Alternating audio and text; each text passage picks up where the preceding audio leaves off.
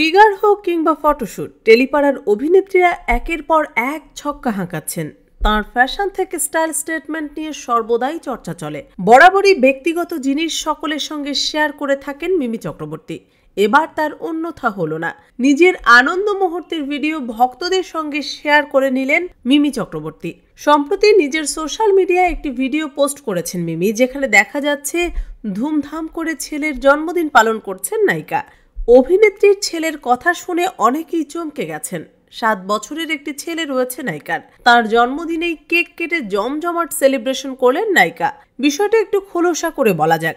মিমি চক্রবর্তী ঠিক কতটা পেট লাভার সেটা এতদিনে সকলেরই জানা। অভিনেত্রীর বাড়িতেও অনেকগুলো পোষ্য রয়েছে। তার চার পেয়েদের মধ্যে আদরের ম্যাক্স সাত বছরে পা দিল। সন্তান তুল্য পোষ্যর জন্মদিনে ধুমধাম করে সেলিব্রেশন করলেন নায়িকা। জন্মদিনের ভিডিও শেয়ার করতেই ভাইরাল হয়েছে নেট দুনিয়ায়। মিমির শেয়ার করা ভিডিওতে দেখা যাচ্ছে নিজেও মাথায় টুপি পরেছেন এবং সমস্ত পোষ্যদেরও টুপি পরিয়ে সকলে মিলে সেলিব্রেশন করছেন। তারপর নিজের হাতে কেক কেটে ম্যাক্সকে খাইয়ে দিচ্ছেন নায়িকা। অভিনেত্রীর মা ও বাবাকেও দেখা গেছে। ভিডিওর ক্যাপশনে লেখেন, আমার ছেলের সাত বছরের জন্মদিন। সময় দ্রুত কেটে যায়। মিমির এই আদুরে ভিডিও দেখে ভালোবাসায় ভরিয়ে দিয়েছেন ভক্তরা। সকল অনুরাগীরা আদরের ম্যাক্সকে জন্মদিনের শুভেচ্ছা ও ভালোবাসা জানিয়েছেন।